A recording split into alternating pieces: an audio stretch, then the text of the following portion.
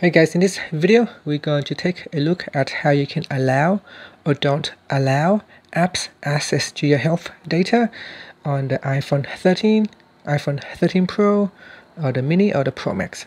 First, let's go back to your home screen by swiping up at the bottom of the screen. And on the home screen, tap on Settings. In Settings, go down and tap on Privacy. Then we go down and tap on Health Next in here, you want to go down to the apps section and select an app. In here, you can choose uh, which um, which information, which health data the apps can access. So you can see in here we got body fat percentage, body mass index, heart rate, height.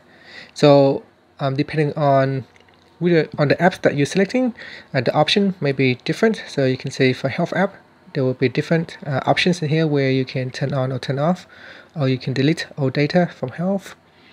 Um, because I have installed a lot of uh, apps on this uh, iPhone so at the moment there is only the body uh, the body monitor app trying to access uh, my health uh, data.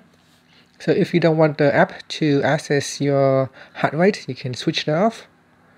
So something goes wrong there it just uh, closes itself down so we go back into privacy again and go into health then tap on body monitor and again in here we can switch it on or off. Or we can turn it all on or all off.